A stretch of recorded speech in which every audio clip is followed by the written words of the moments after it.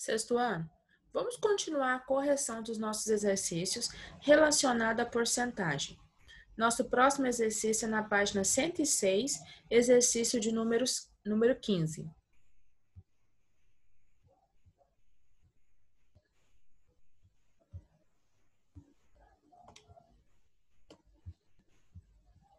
Na escola Construir, estava acontecendo a eleição para presidente do Grêmio. Edilene, uma das candidatas, resolveu fazer uma pesquisa de boca de urna. Constatou que, dos 600 alunos, ela iria obter 51% dos votos e ganharia a eleição. Quantos votos Edilene vai obter, se confirmada a pesquisa?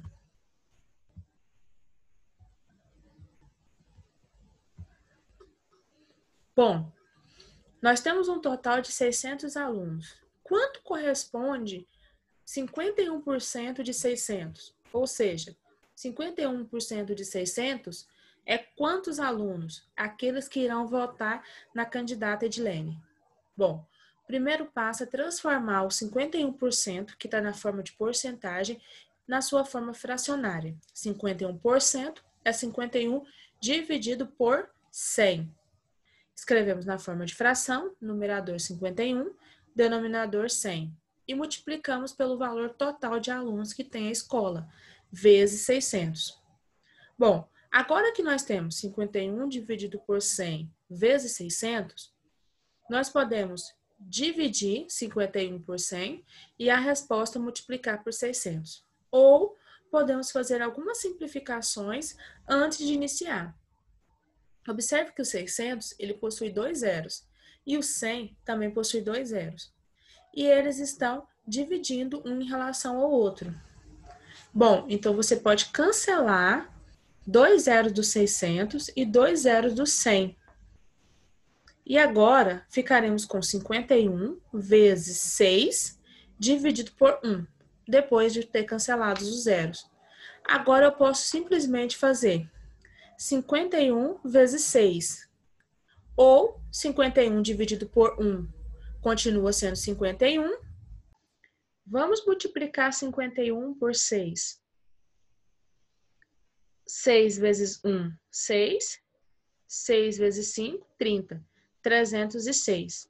Então, 51 vezes 6 é 306, dividido por 1, continua sendo 306. Logo, dos 600 alunos que tem na escola, 306 irá votar na candidata.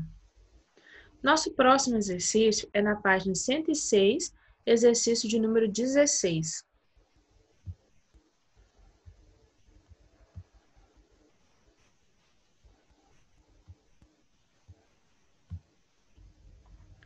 O exercício 16 diz: Paulo paga 600 reais de aluguel do seu apartamento.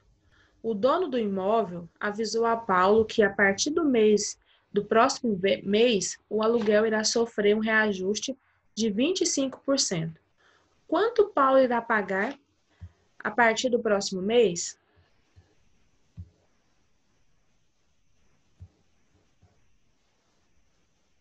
Bom, o primeiro passo é saber quanto vai aumentar ele já paga 600 e vai haver uma acréscimo aí de 25%. Mas 25% corresponde quanto em dinheiro? Bom, então eu quero calcular 25% de 600. O primeiro passo é transformar esse 25%, que está na forma de porcentagem, para sua forma fracional. 25%, 25 por 100. 25 dividido por 100. Numerador 25, denominador 100. Após fazer a divisão ou a multiplicação, nós multiplicamos, aliás, por 600. Bom, ficamos com 25 vezes 600 dividido por 100. Eu posso, antes de iniciar a multiplicação ou a divisão, fazer alguns cancelamentos. O 600, ele possui dois zeros. O 100, ele também possui dois zeros. Então, eu posso cancelar dois zeros de cada um. E eu vou ficar com 25 vezes 6 dividido por 1. Vamos multiplicar primeiro 25 vezes 6. 6 vezes 5 é 30. 6 vezes 2 é 12. Mais 3 é 15. 150. Bom, 25 vezes 6 é 150.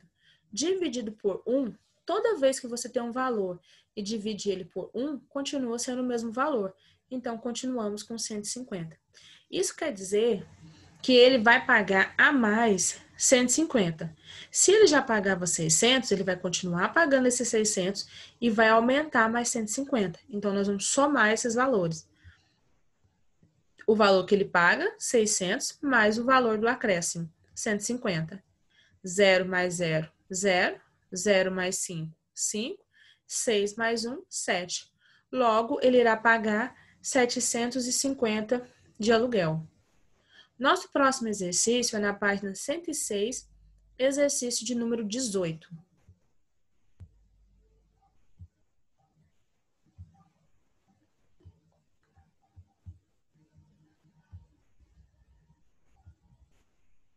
O exercício diz: João comprou uma TV e resolveu pagar a prazo, pois não podia pagar à vista. Sabendo que o valor à vista é de 1.500, e que o valor total a prazo é 15% maior que o valor à vista, responda: quanto João vai pagar no total?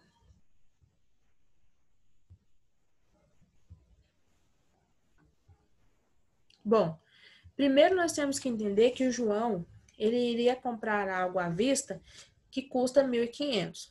Mas, como ele não tem dinheiro, ele vai ter que pagar um acréscimo aqui de 15%.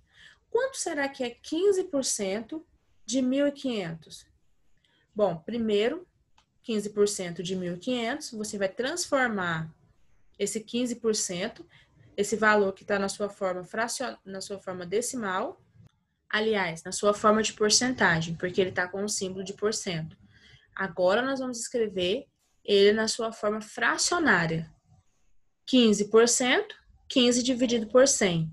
O numerador é 15, o denominador é 100, e multiplicamos pelo valor total da televisão, 1.500. Bom, antes de iniciar a multiplicação e a divisão dos nossos valores, nós vamos observar o que pode ser simplificado aqui.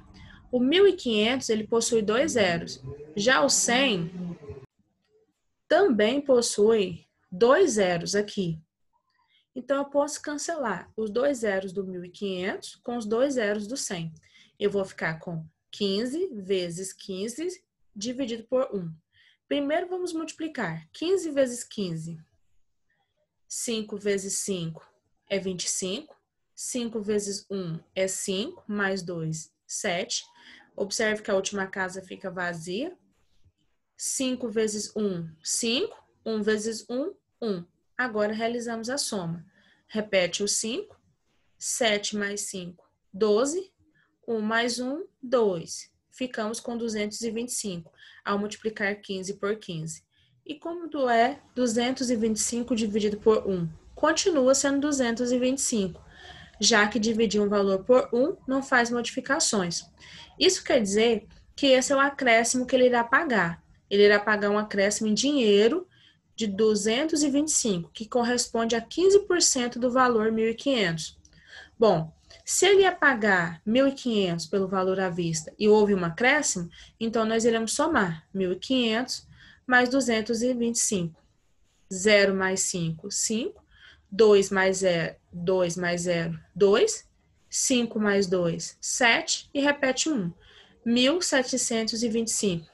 Isso quer dizer que a televisão, que custava 1.500, vai passar a custar agora 1.725 com um acréscimo de 15%.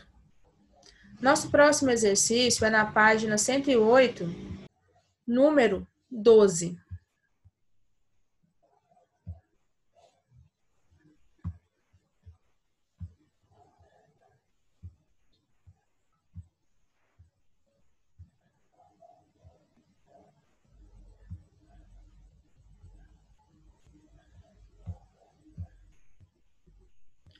O exercício 12 diz: Alberto tinha no ano passado a altura de 1,80. Este ano ele tem 1,89. Que percentual representa o crescimento de Alberto neste ano?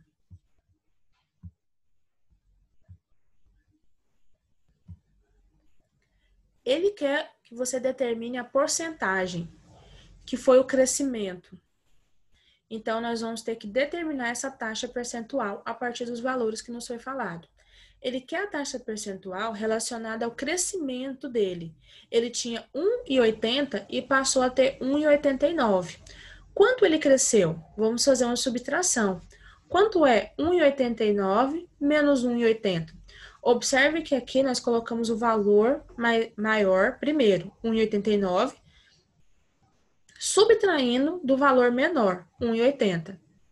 A vírgula tem que ficar uma abaixo da outra, sempre que nós estamos fazendo o cálculo com números decimais. E agora podemos realizar o cálculo. 9 menos 0, 9. 8 menos 8, 0. Vírgula embaixo de vírgula, inclusive na resposta. E 1 menos 1, 0. Isso quer dizer que ele cresceu 0,09 metros. Bom, agora que eu sei qual é o tamanho, qual foi o valor do crescimento, eu posso escrever uma fração a partir disso. Uma fração tem numerador e denominador, e entre ela tem um traço. O numerador vai indicar aquilo que eu quero. Eu quero a taxa do crescimento, 0,09. O denominador é o valor total. Bom, ele começou ali no início do ano com 1,80. Então, ficamos com 0,09 dividido por 1,80. E esse valor nós iremos multiplicar por 100, porque assim nós teremos esse valor em porcentagem. Bom, primeiro nós vamos dividir a nossa fração. 0,09 por 1,80. Nós estamos dividindo aqui números decimais. Sempre que você for dividir números decimais, aquele número que tem vírgula, você vai observar se ambos têm vírgula. Os dois têm vírgula. Agora você vai contar quantas casas decimais foram utilizadas aqui, ou seja, quantos números tem após a vírgula. No número 0,09, você tem os algarismos 0 e 9. No número 1,80, você tem o algarismo 8 e 0. Isso quer dizer que você tem a mesma quantidade de números após a vírgula, 2. Então, você já pode realizar a divisão sem precisar completar nada, sem precisar completar as casas decimais. Você vai observar o número sem a vírgula e vai fazer a divisão, porque você não pode escrever na chave número com vírgula. Bom, 0,09, se você tira a chave dele, se você tirar a vírgula dele, ele vai ficar 009 ou simplesmente 9. Já o número 1,80, se você tira a vírgula dele, fica 180. Ou seja, nós estamos dividindo aqui 9 por 180. Essa é a nossa divisão. Bom, 9 não divide por 180 porque ele é menor. Então, você acrescenta um zero, um zero e uma vírgula na resposta. Acrescentando um zero, você vai ficar com 90 dividido por 180. 90 dividido por 180 não tem como, porque 90 ainda é menor do que 180. Então, você vai acrescentar mais um zero a esse 9, você vai acrescentar 2 no total, agora vai ficar 900, maior do que 180, então você realmente pode continuar o cálculo. E vai acrescentar mais um zero após a vírgula. Observe que se você só tinha 9 e acrescentou dois zeros, você acrescentou um zero, uma vírgula e um zero a resposta. Agora, você vai dividir 900 por 180 é 5, porque 5 vezes 180 é 900. 900 menos 900, zero. Isso quer dizer da divisão do número 0,09 por 1,80, você encontrou 0,05. Agora eu vou multiplicar esse valor por 100 e vou ter a resposta em porcentagem. 100 vezes 0,05, 5 vezes 0, 0, 5 vezes 0, 0, 5 vezes 1, 0. 5 vezes 1, 5, aliás. 0 vezes 0, 0. 0 vezes 0, 0. 0 vezes 1, 0. 0 vezes 0, 0. 0 vezes 0, 0. 0 vezes 1, 0. Agora realizamos a soma. Repete o último 0. 0 mais 0, 0. 5 mais 0 mais 0, 5. 0 mais 0, 0. E repete o primeiro 0. Agora eu vou olhar nos valores que nós utilizamos para fazer a multiplicação. O 100 não tem vírgula. Já o 0,05, ele tem dois algarismos após a vírgula, ou seja, ocupou duas casas decimais. Eu vou escrever a vírgula de uma forma que fique dessa mesma forma, ocupando duas casas decimais. A vírgula, então, tem que ficar entre o 5 e o 0. Ficamos com 005,00. Ou simplesmente ficamos com 5%. Isso quer dizer que o crescimento dele durante esse ano, de 1,80 para 1,89, corresponde a 5%. Concluímos assim agora a nossa correção dos exercícios relacionado à porcentagem. Qualquer dúvida, nos procure na sala virtual e bons estudos para vocês.